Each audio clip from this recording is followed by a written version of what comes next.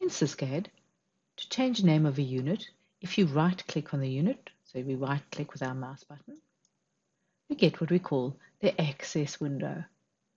And near the top of the access window, there's this button, which is tag. So if I click on that button, I get the change tag dialog box. The old tag is shown at the top and the new tag shown in blue down here. So this will replace the tag. If I just start typing the name, and in this case it's conch acid, if I type conch and I have put it, if I put a space in and I type acid and then enter or click on the OK button and you'll see the unit has now been changed to conch acid.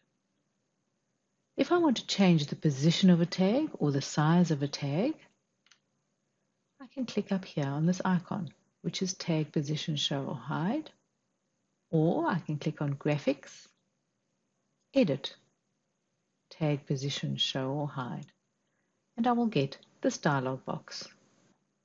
Or I can say hide all unit tags and you'll see there, they're all now hidden. But I actually want to display them, so I'll click back on show all.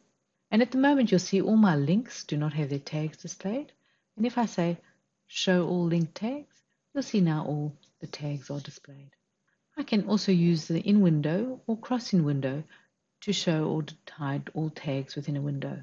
I can change the size of the tags or the rotation and I can show or hide individual tags.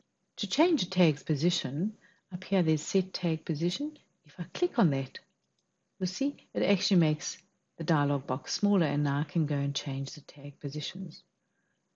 So the first thing it says is which unit do I want? And you click on a unit and it'll go magenta and then it'll allow you to place the position of that tag. And you can just click to show it where you want it to be. And when you've finished, you can say next and then it changes back to blue and now you can click on your next unit which in this case is the autoclave if I click there I can change its position by just clicking that's where the bottom left of the name of the tag